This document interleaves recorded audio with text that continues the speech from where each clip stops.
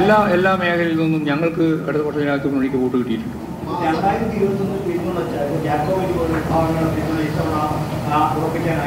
അതിപ്പോൾ ഏതെല്ലാം വിഭാഗങ്ങളുടേതാണ് കിട്ട കിട്ടിയത് ഏതൊക്കെ വിഭാഗങ്ങളുടേതാണ് കിട്ടാത്തത് എന്നിപ്പോൾ പറയാനായിട്ടില്ല. കാരണം അത് കൂടെയും കഴിഞ്ഞ് പരിശോധിച്ചല്ലേ? മനസ്സിലാവും ഞങ്ങൾ പരിശോധിക്കാം. നല്ല പോലെ ഇതിനെ സംബന്ധിച്ചെല്ലാം പരിശോധിച്ച് കൃത്യമായ നിലപാട് സ്വീകരിച്ച് പാർട്ടി മുന്നോട്ടേക്ക് പോകണമെന്നല്ലേ നിങ്ങൾ ആഗ്രഹിക്കുന്നത്. ആ നിലപാട് പാർട്ടി അതേ രീതിയിൽ തന്നെ സ്വീകരിച്ച് മുമ്പോട്ടേക്ക് പോകും. എല്ലാ വിവാദവും ഞാൻ പറയാം. ഒന്നും ചർച്ച ചെയ്തിട്ടൊന്നുമില്ല. ആര് ചർച്ച ചെയ്തതിനെ വല്ലതും. അവരല്ല ചർച്ച ചെയ്തില്ല അതൊന്നും ഏഹ് മുഖ്യമന്ത്രി എല്ലാ ദിവസവും ജനങ്ങളെ അഭിസംബോധന മുഖ്യമന്ത്രിയായിരുന്നു. എല്ലാ പ്രശ്നങ്ങളും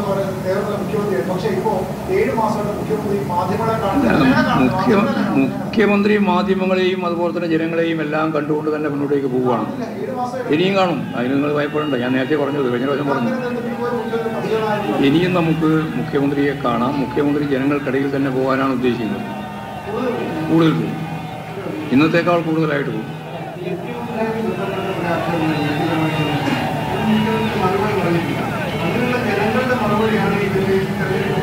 നിങ്ങൾക്ക് നിങ്ങൾക്ക് ഓരോരുത്തർക്കും നിങ്ങളുടേതായ രീതിയിൽ വിലയിരുത്താം.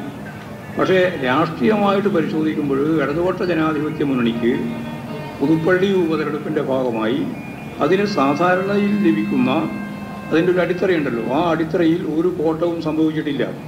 എന്നാൽ ഞങ്ങൾക്ക് ജയിക്കാനായിട്ടില്ല. U D F ജയിച്ചിരിക്കുന്നു.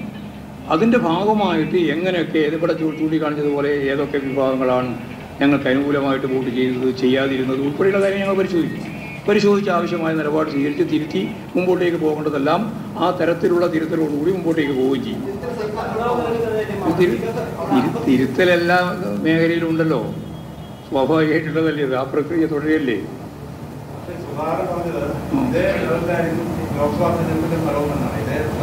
അതൊരു സ്വപ്നം മാത്രമാണ് അല്ലാണ്ട് ഇതേ രീതിയിലാണ് ഒന്നും പരസ്പരം പൂർണമായ അർത്ഥത്തിൽ ആവർത്തനം ഉണ്ടാവില്ല. അത് ചരിത്രത്തിന്റെ ഒരു പ്രത്യേകതയാണ്. ഇത്? അവരല്ലേ. അത് നമുക്ക് നോക്കാം. നമ്മൾ മത്സരം വരാൻ പോകില്ലേ നമ്മളിപ്പോൾ മുൻകൂട്ടി പ്രഖ്യാപിച്ചുകൊണ്ട് വല്ല കാര്യമുണ്ടോ? അങ്ങനെ ബി ജെ പി കേരളം ഭരിക്കുന്നു പറഞ്ഞില്ലേ? അതുപോലെ അതുപോലെ ഇതിന് ഒരാഘാതവും ഇല്ല ഇതിന്റെ ഭാഗമായിട്ട് ഒരാഘാതവും പാർട്ടിക്കില്ല. ഈ കേരളത്തിന്റെ സുദീർഘകാലം അമ്പത്തി മൂന്ന് വർഷക്കാലം പിന്തുടർന്നു വന്ന ഒരു നിയോജക മണ്ഡലത്തിലെ കോൺഗ്രസിന്റെ പ്രമുഖ നേതാവായ ശ്രീ ഉമ്മൻചാണ്ടിയുടെ മരണത്തെ തുടർന്ന് മരണാനന്തര ചടങ്ങ് പോലും പൂർത്തിയാകുന്നതിന് മുമ്പ് അവിടെ ഒരു ഉപതെരഞ്ഞെടുപ്പ് നടത്തുകയും ആ ഉപതെരഞ്ഞെടുപ്പിൽ നല്ല സഹതാപത്തോടുകൂടി ഉമ്മൻചാണ്ടിയുടെ മകൻ ജയിക്കുകയും ചെയ്തിരിക്കുന്നു എന്നുള്ളതാണ് അതിലെ കൃത്യമായ അർത്ഥം. ആ അത്രയേ ഉള്ളൂ. ഇത്ര വലിയൊരു പരാജയം ഉണ്ടാവേണ്ടിയിരുന്നോ എന്നുള്ളത് ചോദിച്ചാൽ ഉണ്ടാവേണ്ടിയിരുന്നില്ല എന്നാണ് എന്റെ അഭിപ്രായം. ആ പ്രതീക്ഷ പ്രതീക്ഷ എന്ന് പറയുമ്പം ഞാൻ ഒരിക്കലും പറഞ്ഞിട്ടില്ലല്ലോ. ഞങ്ങൾ ആദ്യമേ പറഞ്ഞ ഒരു കാര്യം അമിതമായ ഒരു കാര്യവും ഞങ്ങൾ വിശദീകരിക്കുന്നില്ല. തിരഞ്ഞെടുപ്പിന്റെ ആദ്യം മുതലെടുത്ത ആമുഖമായിട്ടെടുത്ത കാര്യം അതാണ്. തിരഞ്ഞെടുപ്പ് കഴിഞ്ഞതിന് ശേഷം പോളിംഗ് കഴിഞ്ഞതിന് ശേഷം കൊടുത്തത് അങ്ങനെ തന്നെയാണ്. എന്തെങ്കിലും വല്ലാതെ രീതിയിലുള്ള അമിതമായ ഒരു കാര്യവും ഞങ്ങൾ പറഞ്ഞിട്ടില്ല. ഈ ഇലക്ഷന്റെ കാര്യത്തിൽ പറഞ്ഞിട്ടില്ല.